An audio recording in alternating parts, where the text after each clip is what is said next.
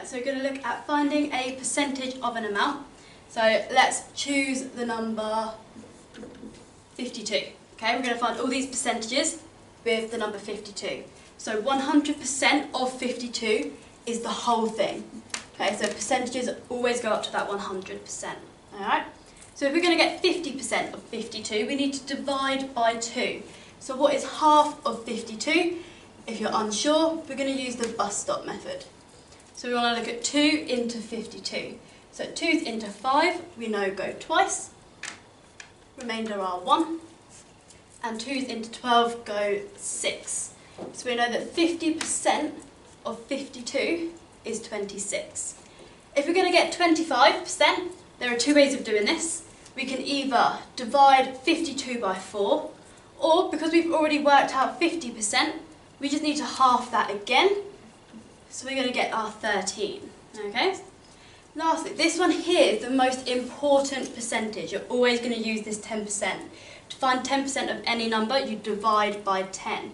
So 52 divided by 10, you've got to imagine that you've got that decimal at the end. It's going to move in, so you're going to get 5.2. Okay? 5%. Now we found our 10%, we can use that to find our 5% just by halving that. Also, here we did 50%, so we could just divide that by 10 to find 5%. So you're going to have your 2.6 for that one. And if we've got 1%, we can divide our 10 by another 10, or your original number by 100. So you're going to get 0.52. Okay, these are your most important percentages you need these to answer any question. There are two more percentages that you need to remember. These two are 0.5% and 0.1%. So 0.5%. From our value before, when we got 5, we had 5%, which was 2.6. So to get 0.5%, we're going to divide that by 10 again, so we get 0.26. Our 1% from before was 0.52, so we're going to divide that by 10 again to get 0.1, so we'll get 0.052. These are your most key percentages to remember. Once you know all of these percentages and how to work them out, you can work out any percentage of any number. So we're going to have a go at a few examples. We're going to do three examples, and then you'll be able to do them. So your first example, let's work out 20% of 45. Okay? 20% of 45. We don't know how to get 20% straight away, so we're going to use our key one. We're going to find 10% first. I know that 10% of 45 I need to divide by 10, so I get 4.5. To get from 10% to 20%, we're going to multiply by 2.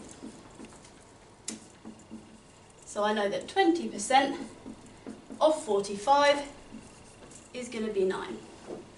My second example, we're going to look at one where we've got to do a few more. So let's look at 45%. And let's do it of 180 this time. Okay? 45% of 180. We can't get that straight away. There are a few ways of doing it.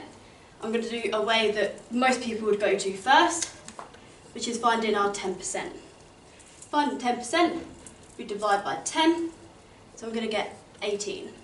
I need to get to 40, so I'm going to times this by 4. Okay, you can't use a calculator, you will not have a calculator with this, so you're going to have to do the column method, or the grid method, whatever you prefer. 8 times 4, we know is 32. Carry the 2, uh, carry the 3, put the 2 down. 1 times 4 is 4, plus our 3, we get 7. Okay? So we know that 40% is 72. We're nearly there, we just need to get 5% now. We know that 5% is half of 10, so we can half our 18, and we get 9. To get our 45%, you're going to add your 72 and 9 together. So we know that 45% of 80, 180 is 81. Now this last example is going to be the hardest, and it will be one of the hardest questions that come up, and that's when we have these decimals. So, let's do 18.3% of 80. So this is going to take the longest. So we know here we want to split it up into the percentages we know.